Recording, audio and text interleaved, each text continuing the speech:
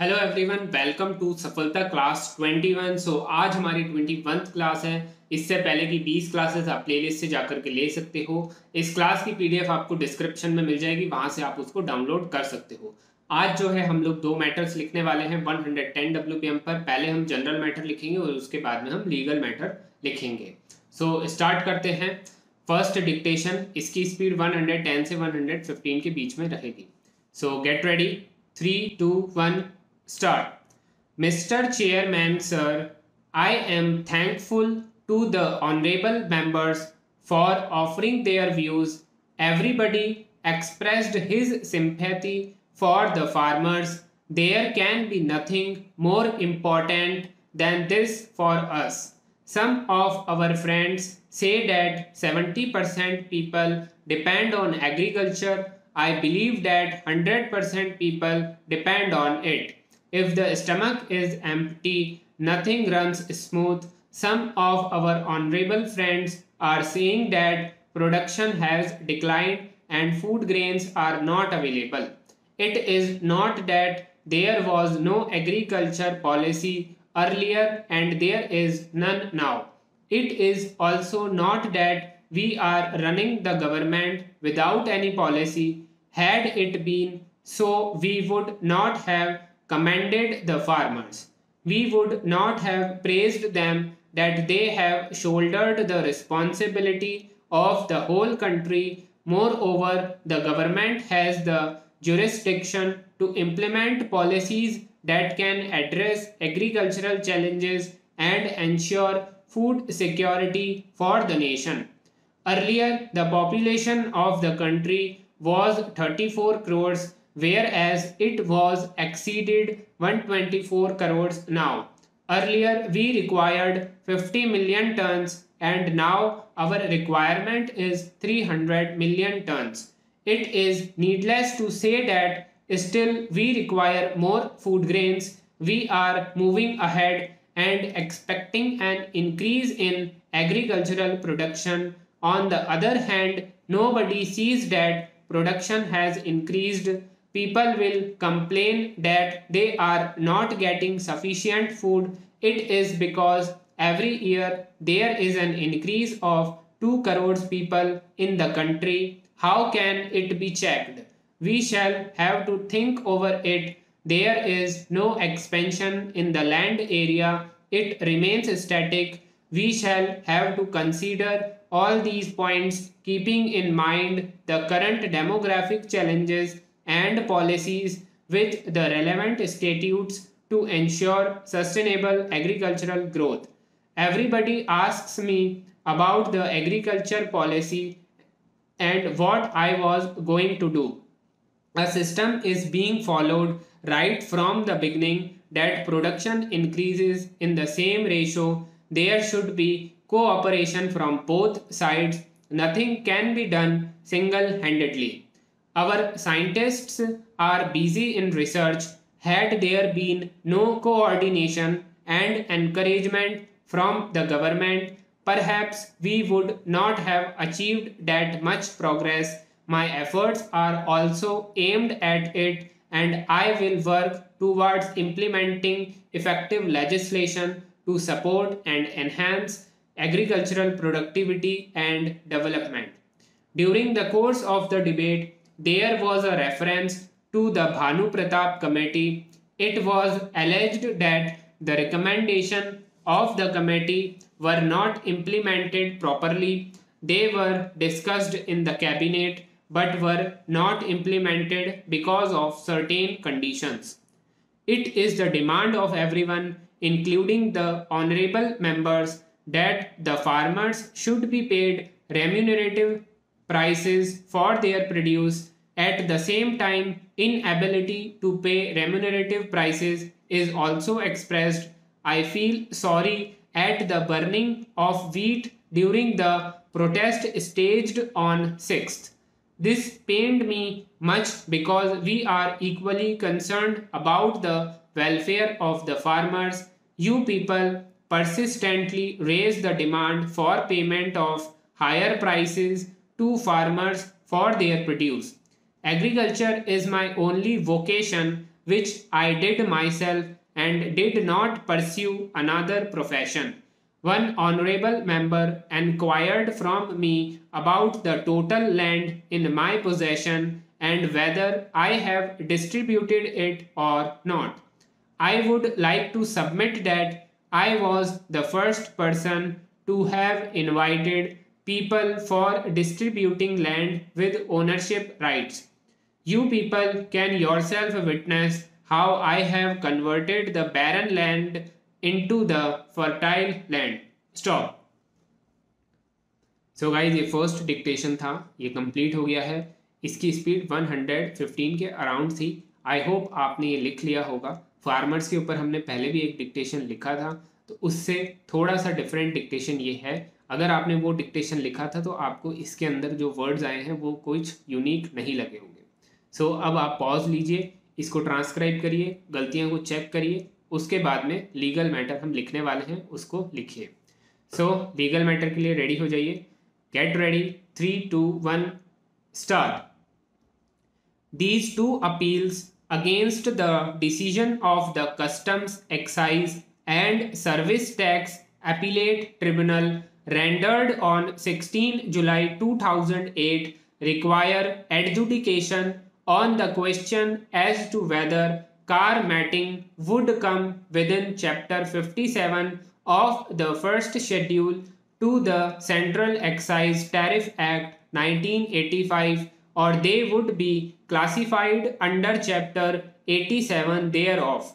The appeals are against a common decision and we shall also deal with both these appeals together in this judgment. The respondent assessee wants their goods to be placed.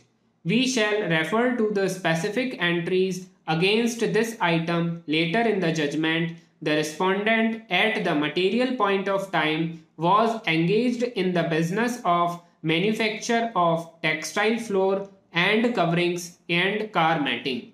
The subject goods have been referred to interchangeably by the revenue also as car mattings and car carpets. The respondent at the material time was clearing the goods, declaring them to be goods against heading. Effective rate of excise duty on goods under that entry was 8% and education cess at the applicable rate for the subject period. We find this rate of duty inter alia from the order of the commissioner dealing with the first and the second show cause notices. The rate of basic excise duty would have been 16% apart from education cess if these goods were classified against goods specified Altogether, three show cause notices were issued against the respondent over clearance of goods under the said heading. These notices required him to answer as to why we should not be charged the differential rate of duty and interest. We would like to point out here that in the show cause notices, the respective chapter subheadings have been referred to and in the order of the tribunal also the subheadings have been referred to as such. But the authorities themselves in certain places described the subheadings in shorter numerical forms as 5703 and 8708.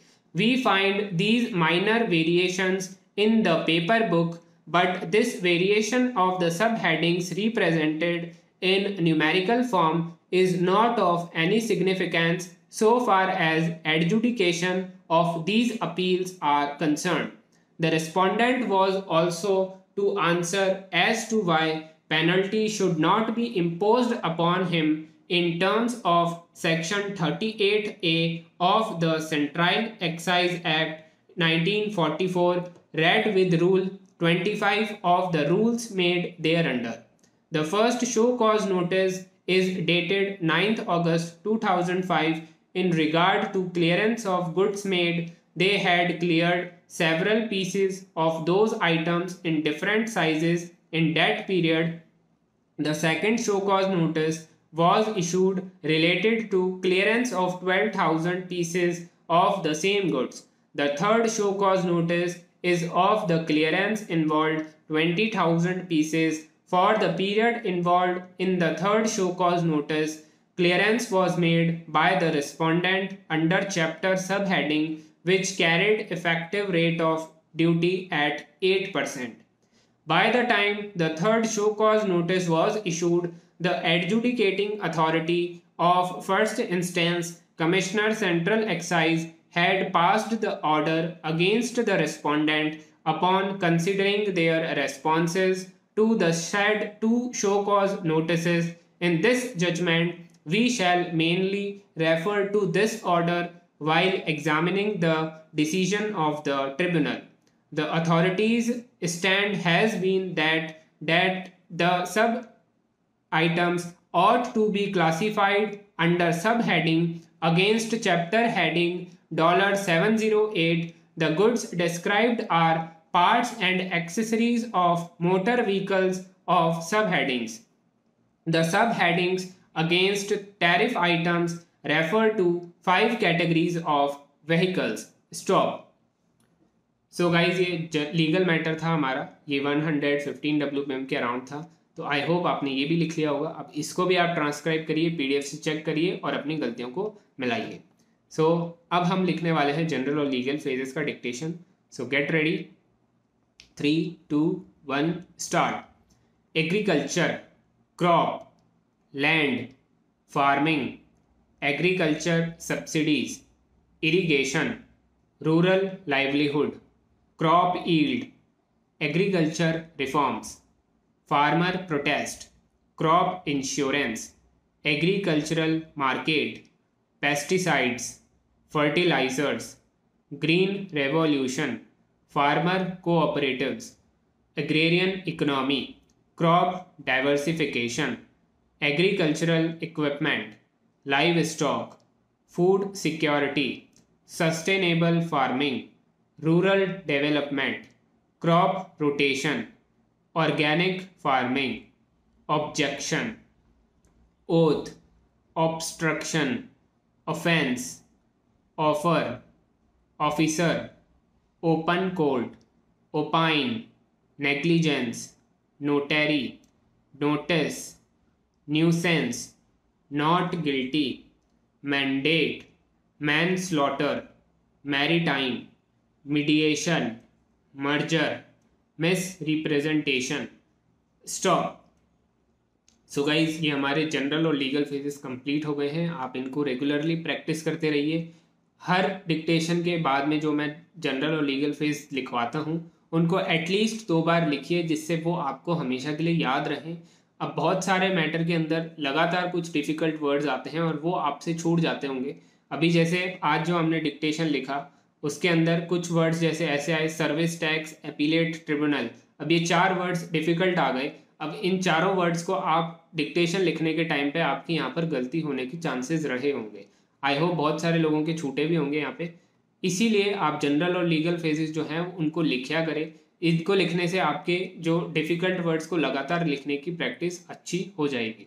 तो इसको आप करके देखिए, आपको इसका benefit मिलेगा। तो आज की क्लास यहीं पर एंड करते हैं। कोई भी क्वेरी हो कमेंट करके पूछ सकते हो। टेलीग्राम पर पर्सनली कॉन्टैक्ट भी कर सकते हो। आज की क्लास यहीं पर एंड होती है। तब तक के लिए thank you everyone and goodbye